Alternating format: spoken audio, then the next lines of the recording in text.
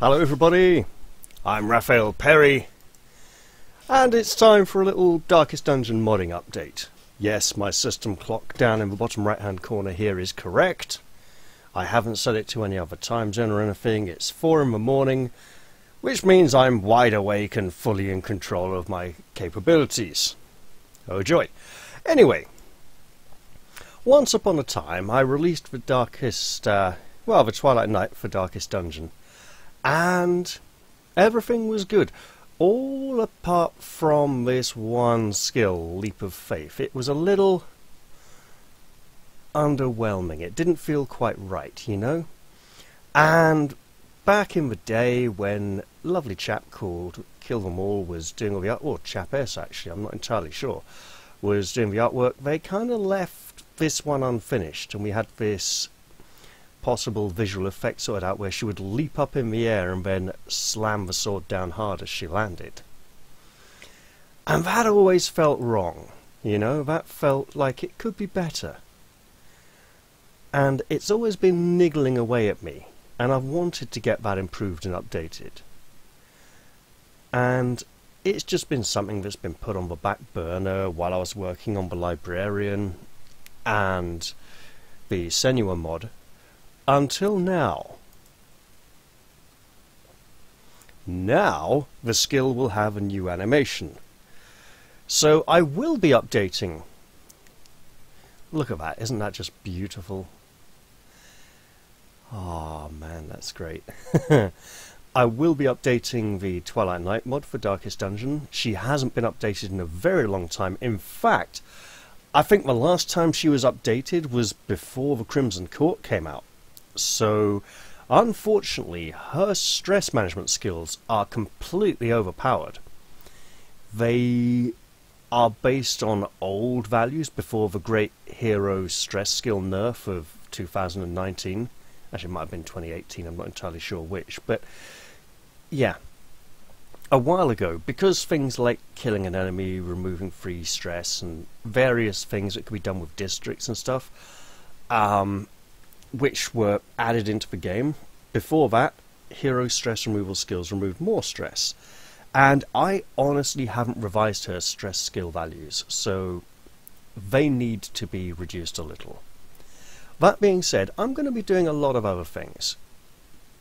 Uh, fairly subtle small changes overall. This visual change to Leap of Faith is probably the largest change. Uh, let me see. So I will be reducing stress values across the board. Currently, I've tweaked Glimmer of Hope so that it removes stealth from the Twilight Knight if she has managed to gain it from any way. For example, if Senua gives stealth to her allies, and then the Twilight Light holds up her lantern and illuminates herself, it does not make a lot of sense for her to still have stealth. So it'll remove stealth from her. It might remove stealth from all enemies as well. I can't remember if, if I've added that in yet.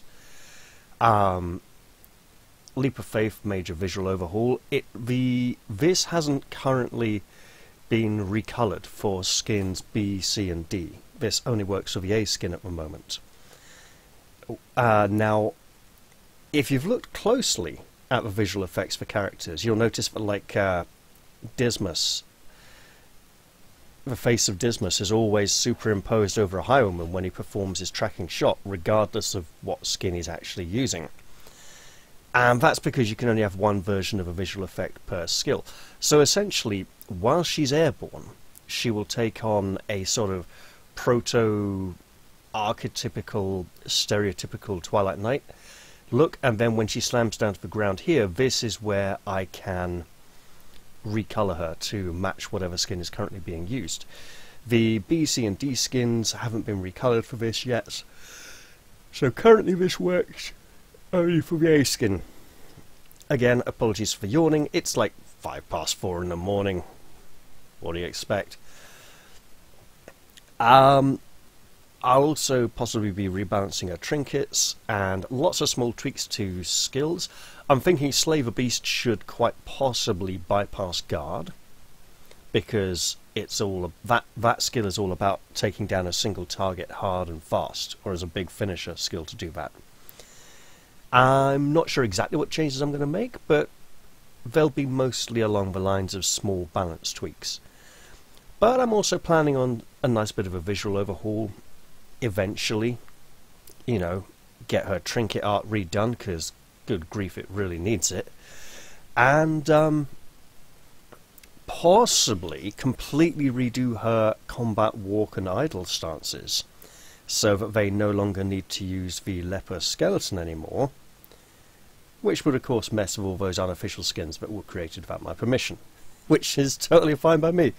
Right, well, um, chances are that the things coming in this update will be staggered over time, and the new Leap of Faith animation would be one of the first things going in. Uh, probably start uploading small mini patches sometime soon and, you know, stagger stuff out over a series of updates. But I hope you all like this news, and I'll uh, look forward to seeing you all in the next video. Bye for now, everyone. Take care of yourselves.